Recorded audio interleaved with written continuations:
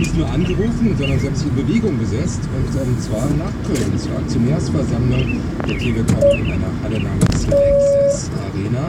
Beobachtet eine die Demonstration davor. Unser Kollege Wolfgang Zimmer